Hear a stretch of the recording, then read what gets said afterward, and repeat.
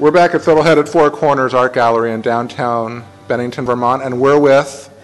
Bertilla Noble. And John, So, big news here, uh, kind of cool news. Bertilla and John are buying a print of uh, Brian Hewitt's Park McCullough House series, the main one. It's the, this is a print of the Park McCullough House, and it's part of a three print triptych that we're raffling off on Friday during our reception here at Fiddlehead. Last night, uh, Bert and John came in, and Bert fell in love with the main house, again, which is this one, and they called Brian and had a print made. So, why did you like it so much, Bertilda? Oh, I just, uh, it just struck me the moment I saw it. I love the brightness. I love the colors in it. It's different. Um, I, I, I just like the modernness of it, and I like the beautiful details, and like I said, the bright colors. It's just gorgeous.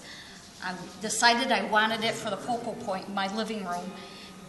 so that every time you look at it, you see something different, and it'll start a great conversation, and it'll be something that I'll never be tired of looking at. It was interesting. You guys left the gallery last night, and so you had a night to sleep on it. Sometimes people sleep on something and decide, you know what, I loved it last night, I still loved it, but I don't know if I want it. You came back today. Absolutely. You actually went to Brian's house, or Brian came to no, your house. Brian came to our house with what he he had uh, one of his prints, and he he placed it where we we are going to um, put the print, hang the print, and.